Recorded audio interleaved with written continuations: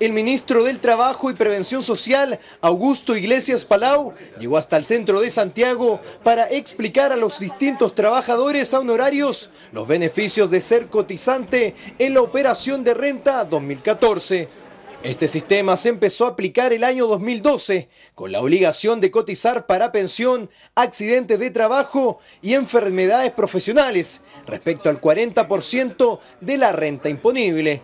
Este 2014, quienes emitan boletas de honorarios estarán obligados a realizar sus cotizaciones previsionales por el 100% de su renta imponible, salvo que renuncie expresamente al servicio de impuestos internos.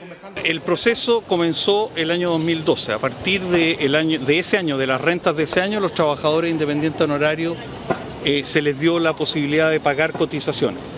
Primero, el primer año pagaban cotizaciones por un porcentaje de la renta, el 40%, el segundo año fue el 70%, ahora ya se paga sobre el, 2014 sobre el 100% de la renta, siempre voluntario. Y a partir del 2015, todos los trabajadores que emitan boletas de honorario, automáticamente el Servicio de Impuestos Internos les va a retener eh, eh, los porcentajes correspondientes a las cotizaciones previsionales.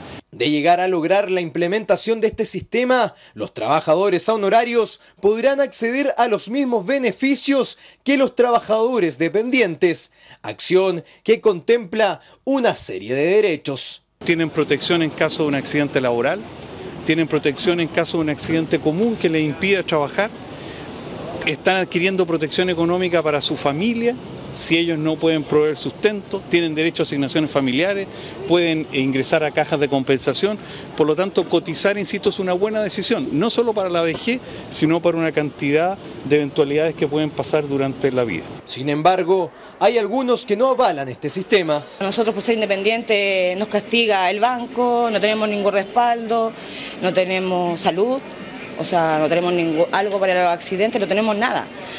Entonces yo en forma independiente igual me cotizo, porque tengo que tener salud.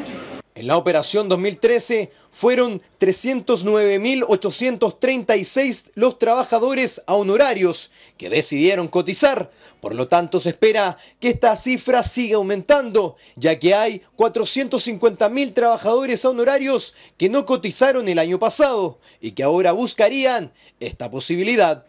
Todo se suma a una nueva administradora de fondos de pensiones, Plan Vital, que según aseguran, permitirá mayor competencia en las AFP y en los salarios de los chilenos.